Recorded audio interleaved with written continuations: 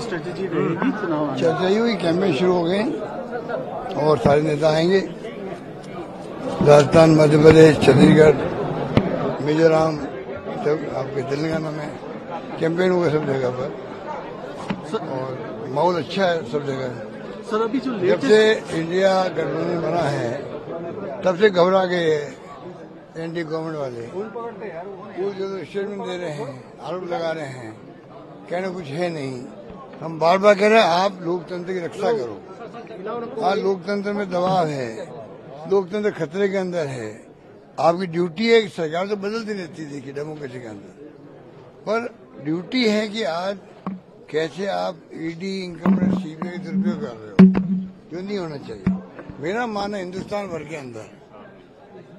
Industrialist हो, traders हो, कोई काम धंधा कर रहा हो कितनी चार्ट अकाउंट लगा दे वो तभी छोटी मोटी गलती रह जाती है हर जगह पर। अगर आप टारगेट करो कि आपको टारगेट करे तो गलती सही है। गलती सब में है। आप टारगेट करो अपने अपोजिशन पार्टी वालों को। आप उनको तंग कर रहे हो। ईडी घुस जाती है इनकम टैक्स घुस जाती है, केस दर्ज हो जाते हैं। ये बंद होना चाहिए। हाँ अगर किसी गलती की है, सलाह मिले हम स्वागत करेंगे। कोई दिक्कत नहीं उसके अंदर। पर जिस प्रकार से आज खाली अपनी पार्टियों वालों के ऊपर दबाव पड़ रहा है या तंग कर रहे हैं वो नहीं होना चाहिए। सर जो भी प्रोमिस जो कांग्रेस पार्टी कर रही है क्या वो प्रोमिस बहुत बड़ी बात है ये। कांग्रेस पार्टी हाँ, ये अनुभव- अनुभव क्या वो उनके कांग्रेस स्टेट्स में वही मैं कह रहा हूँ वही बात कह रहा हूँ वही मैं कह रहा हूँ। पिछली बार चुनाव जो हुआ अठारह के अंदर आपने अच्छा क्वेश्चन किया। अठारह के अंदर राहुल गांधी जी आए थे राजस्थान मध्य प्रदेश छत्तीसगढ़ गए थे। जो वादे किए थे उस वक्त हम लोगों ने वादे निभाए हम लोगों ने। तब जाके आज हम सास कर सकते हैं। आगे गारंटी दे रहे हम लोग। गारंटी देने का मतलब है, हमें वो काम करना ही है सरकार बनते ही। ये गारंटी वो है। और हमने तो लागू ही कर दिया है। अगर आप हमारे काम देखोगे, जो जन घोषणा पत्र हमारा था, पिछली बार जो वादे किए थे, आपको अच्छा लगेगा और आश्चर्य होगा, नाइन्टी वन वादे हमने पूरे कर दिए। बजट घोषणा मेरी है, अधिकार पूरी हो रही है आज कभी नहीं हुई है। लोग कहते हैं आपने खाली घोषणा नहीं करी है। घोषणा लागू हो रही है ठेके हो रहे हैं टेंडर हो रहे हैं काम शुरू हो रहे हैं। सड़कों के भी कॉलेज बन रही है तहसील खुल रही है नगर पालिका बन रही है जो मांगा हमने दिया है। सर वसुंधरा राजे सर वसुंधरा राजे ने आज मुख्यमंत्री जो वसुंधरा राजे ने जो बीजेपी की परिवर्तन यात्रा को मिस किया है लग रहा है कि बीजेपी क्या किया है? परिवर्तन यात्रा क्या किया उन्होंने मिस किया है वहाँ पर मौजूद नहीं थी। तो ये एक संकेत मान वो मिले आपसे तो बाद उनसे करना है?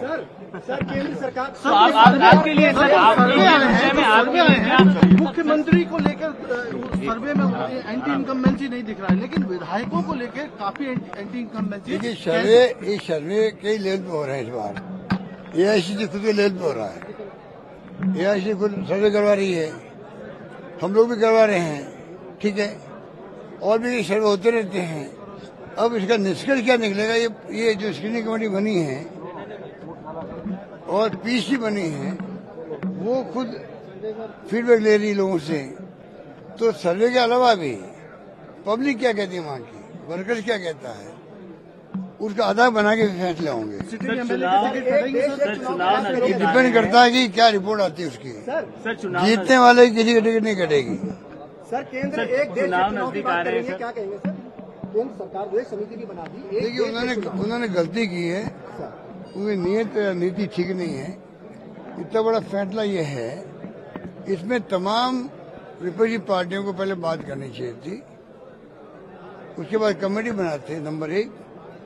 नंबर दो राष्ट्रपति जो पाँच साल पूरा होता कार्यकाल एक सम्मानित व्यक्ति होता है किसी किसी के द्वारा बने हो वो राष्ट्रपति।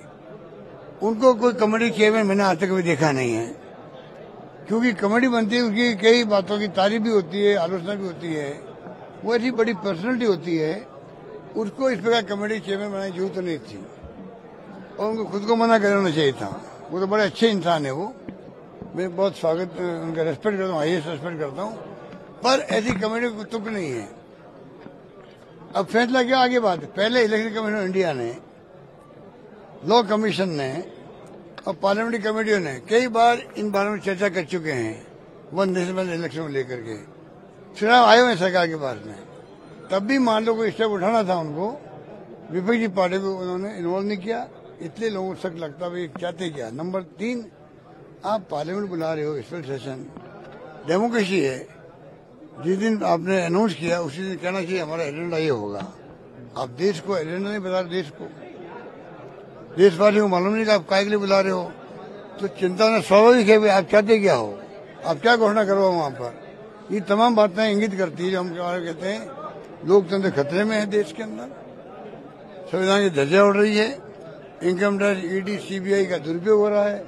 जुडिशल दबाव के अंदर है।